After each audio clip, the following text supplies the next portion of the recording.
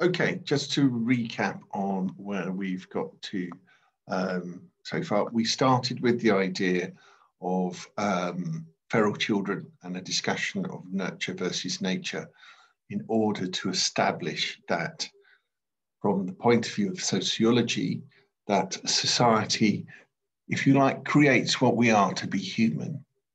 We talked about how, and breaking down what society and culture is, with the idea that culture, as defined as a way of life, is made up of norms, values, status, and role. That is expected patterns of behavior. That is where we rank in society and what role, such as father, mother, etc., we take up within that.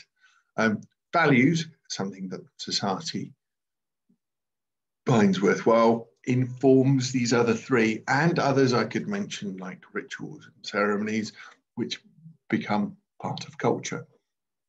Um, it is said that as Brits, we value politeness.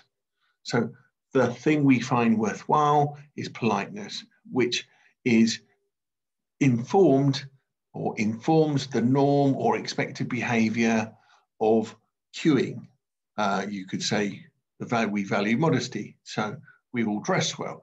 You, we, you could say as a society, we value entrepreneurs, businessmen, which is why they get paid so much and they're a high status.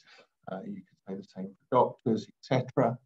Um, and you can see that role, the fatherhood role, is made up of social expectations of behavior, how to do that job. Um, that culture, um, when we, we talked about the feral children, we started talking about Mowgli and Jungle Book as a fictional character, and we looked at specific examples. Mowgli, or one of these other feral children that we spoke about, would need to be socialized to be taught culture, our way of life, in order to integrate into broader society. Social institutions such as the family, education, mass media, the criminal justice system, and so on, socialize us. When we are brought up in the family, we learn right from wrong, we know how to behave and how not to behave. That's reinforced and given a more universal slant when we go into education. That is also echoed in the world of work and reinforced by the mass media. Here, sociologists by and large agree. Then we get to a point of division between perspectives in sociology. On the one hand, we have structure, and on the other, we have agency. These are ends of a scale, they are extremes. No one is purely structure and no one is purely agency. Functionalists are a structural approach in that they see culture as being done to us as individuals with little mediation so that um, norms, values, status, and roles create conformity.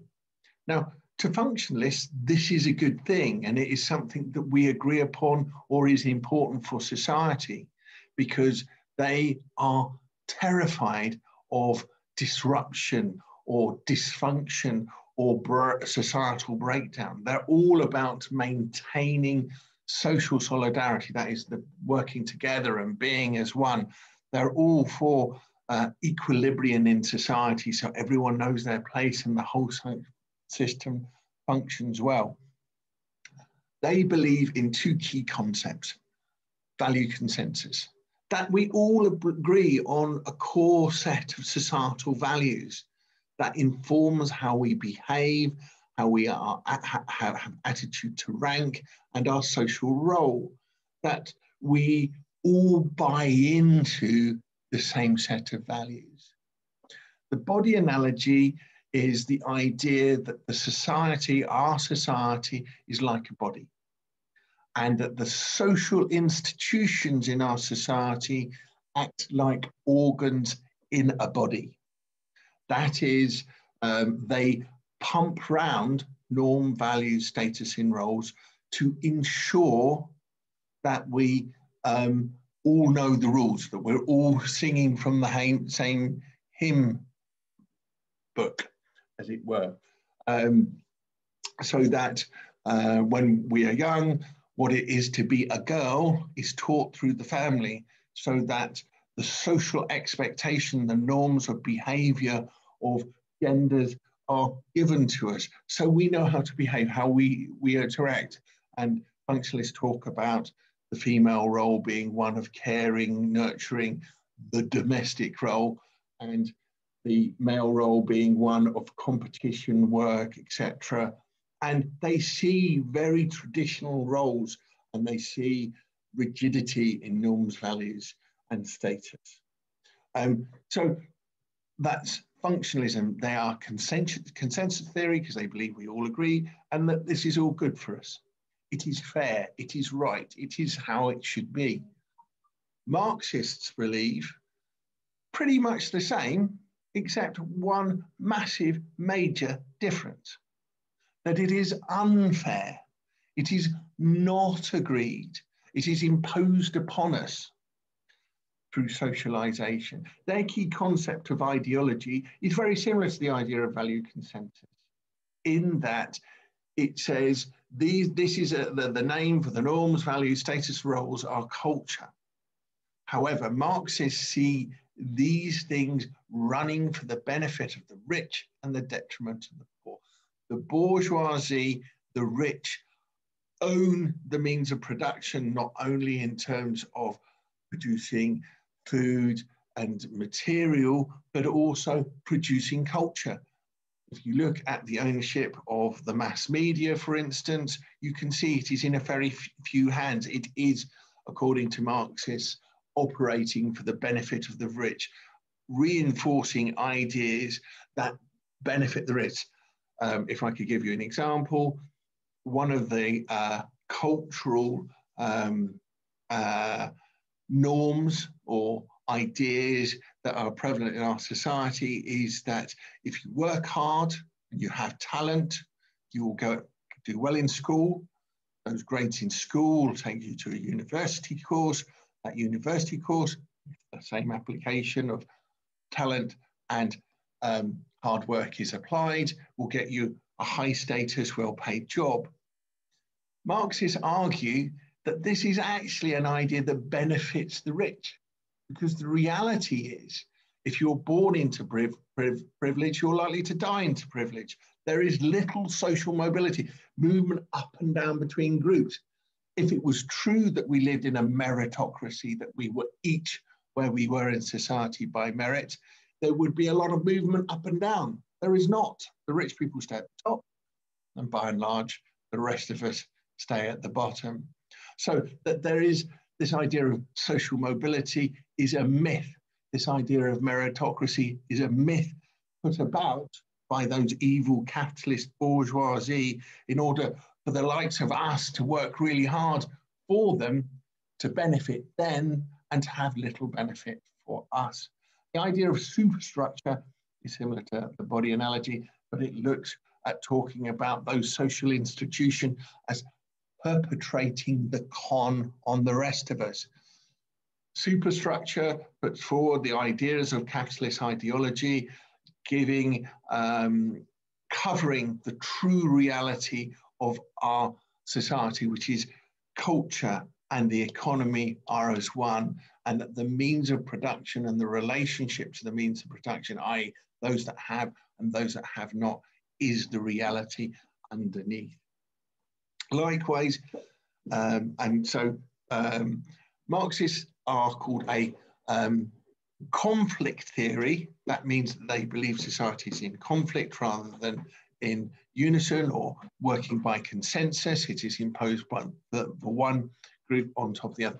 But feminists are also a conflict um, theory in that they see the conflict between men and women as key to the running of our society. They see culture as patriarchal. That's their key structural concept, which is that the norms, values, status, and role of our society are for the benefit of men and not to the detriment of women.